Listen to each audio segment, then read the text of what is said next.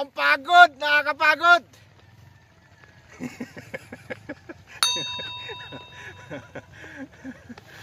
Magandang araw mga katambay!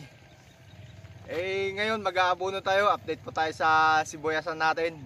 Ito yung unang abono simula nang itinransplant natin siya. At naghalo tayo ng dalawang klase ng abono. At hinaluan natin siya ng Puradan. Ito yung Puradan, ito yung para naman sa insekto. Para hindi siya masyadong kapitan ng mga insekto. Okay, samahan niyo po ako sa ating adventure na to.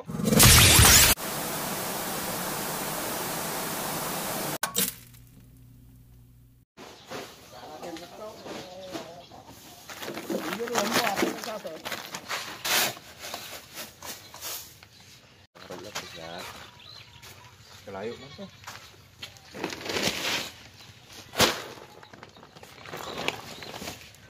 Yan.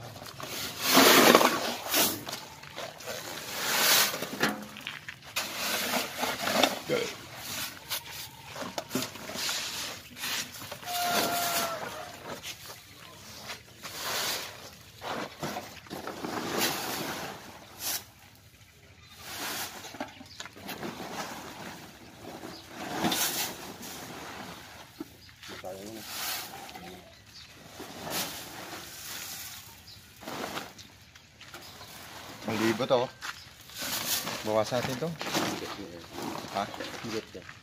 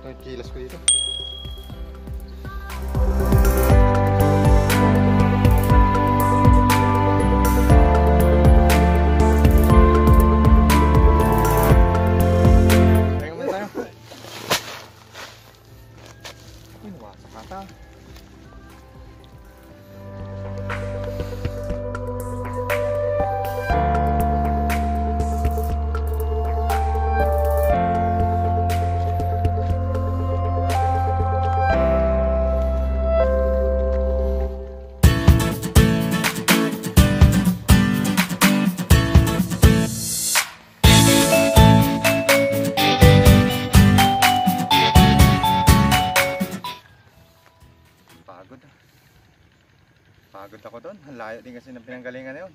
Doon! okay, magandang araw mga katambay. Ito po yung unang abuno natin ngayon. Simula siya ng pagka-transplant. Ah, update po natin to sa pagtatanim natin ng mga sibuyas. Ah, sampung araw po siya simula nung tinransplant. Ito po yung unang abuno niya. Kaya naghalo po tayo ng dalawang klase ng abuno, 16-20-00. Ito, 16-20-00. At saka yung urea triple 14. At saka naghalo din tayo ng ammonium para sa... Ah, ammonium ba yun? Puradan. Puradan ba yun? Puradan para yun sa mga... Insekto. Ang daming sibuyas. Ito po yung napuno natin sa apat na latang ipinunla natin. So napuno niya po yung nataniman po natin yung 0.9 hectares sa apat na lata.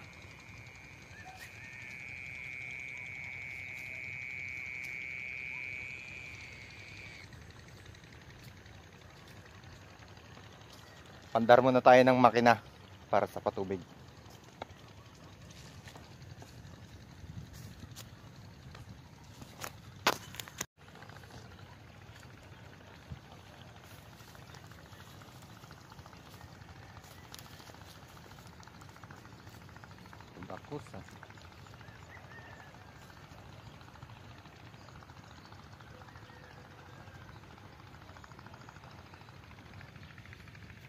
Ganito na po siya kalaki.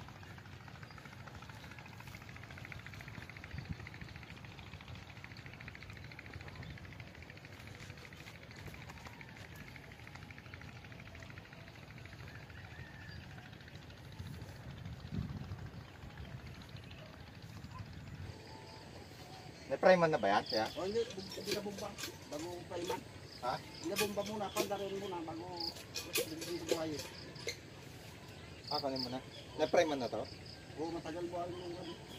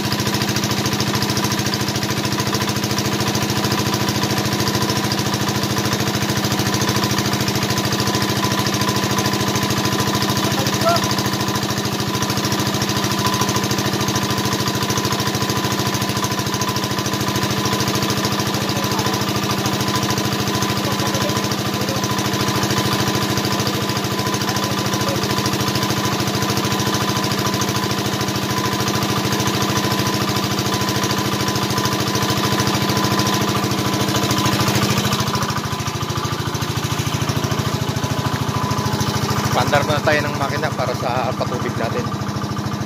Kailangan kasi nating patubigan. Ay, abunuhan muna bago natin patubigan para matunaw yung abuno.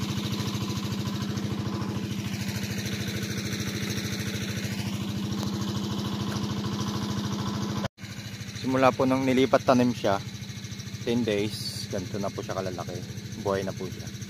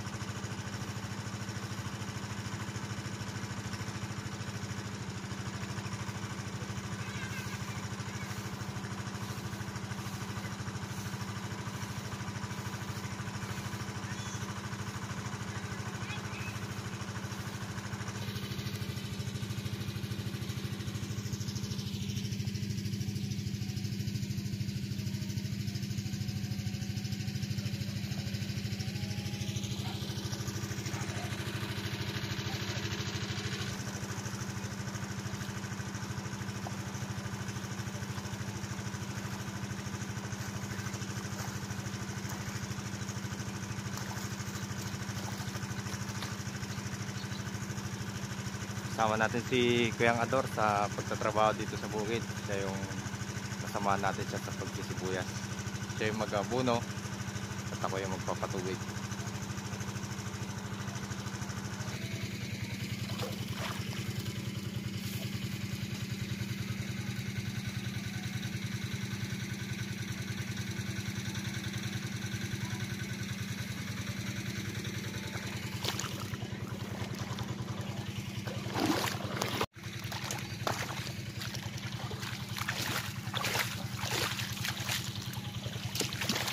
Kailangan natin siyang paapawin para matunaw yung abuno.